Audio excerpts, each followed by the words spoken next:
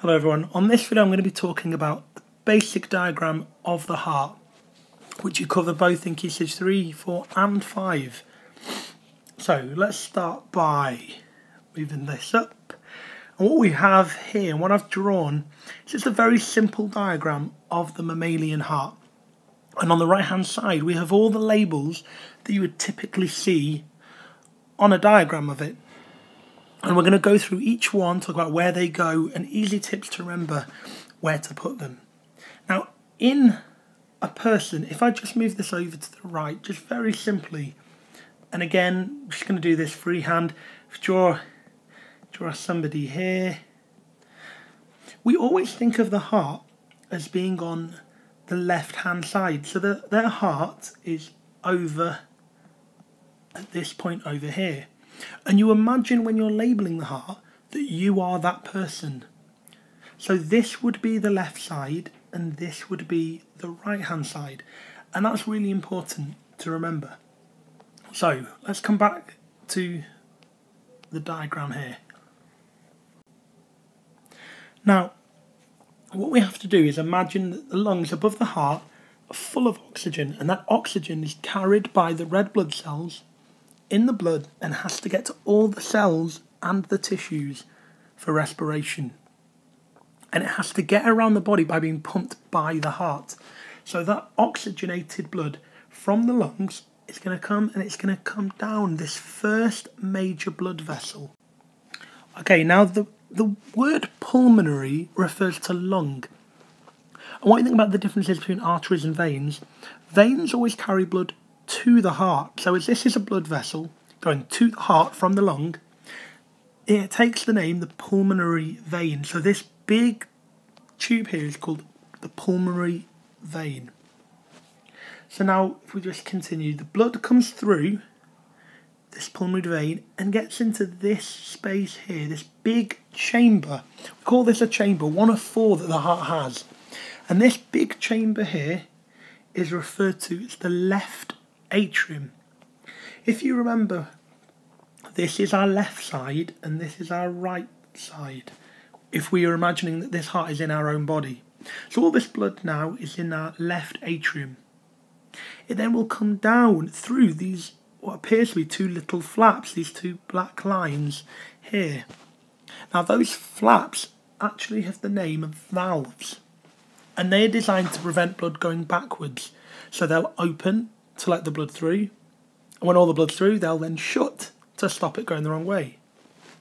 And this particular valve on the left is called the bicuspid valve. The word bi means two and cusp is a flap, so it's like two little flaps that open and close. So that's the bicuspid valve. Blood then continues its journey and now, once it's through the valve, enters this region here. And this here is the big chamber of the heart. It's got the thickest muscle because when it contracts, it has to push blood all around the body. And this massive chamber is the left ventricle. Now, just to be clear at this point, the left side beats at exactly the same time that the right side beats. I'm just for the diagram showing you what happens side by side in turn. So the blood, once it's in the left ventricle, waits until the ventricle then contracts and is forced up through this tube here. Now these two black lines just circle in blue so you can see these two black lines are just like the bicuspid valve. They are also valves preventing blood going the wrong way. But these ones are called the semilunar valves. So there's one on the left, but there's also the one on the right. So we'll just put that title there. So when the blood goes through the semilunar valve on the left side, it continues up and it goes out of this major blood vessel here.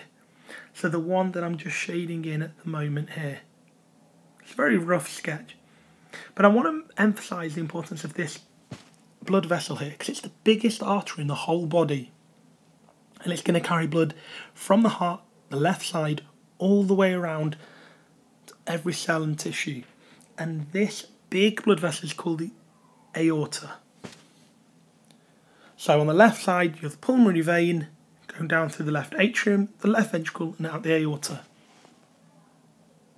So blood goes around the body, oxygen carried by the red blood cells, or the hemoglobin specifically, is given up to the cells and tissues for respiration, and the deoxygenated blood then has to clearly return to the lungs to pick up some more oxygen.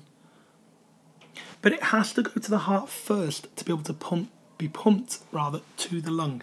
So we're going to use another colour. We'll use blue for this one to explain what happens when blood comes back to the heart. So once it's given up the oxygen, it comes back to the right side of the heart this time through this vessel here. Now this is the biggest vein in the body. And this one is called the vena cava. So we'll just put the vena cava name there. Just like it did on the left side, the blood was through the vena cava, comes into this chamber here, which, as you might have guessed, is the right. Oh, seem to have moved the wrong thing there.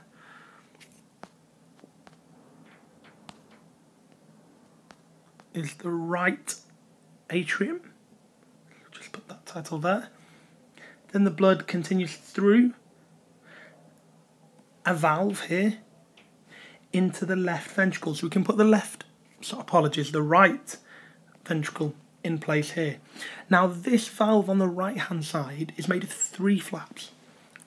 And the word three is tri. So this one is the tricuspid valve. the tricuspid valve is this one just here. Now a little tip that I always used to remember it by is always try and be right. Try, right, try, right. But everyone's got a different way of remembering it. So blood comes through the tricuspid valve into the right ventricle here.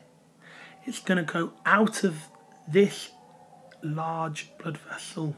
Then once the right ventricle contracts through the semilunar valve, back up to the lung. So as we said again, the word for lung is pulmonary, but blood that is carried away from the heart is called an um, of blood vessels that carry blood away from the heart is called an artery. So this vessel here is called the pulmonary artery. So we can put the pulmonary artery in place.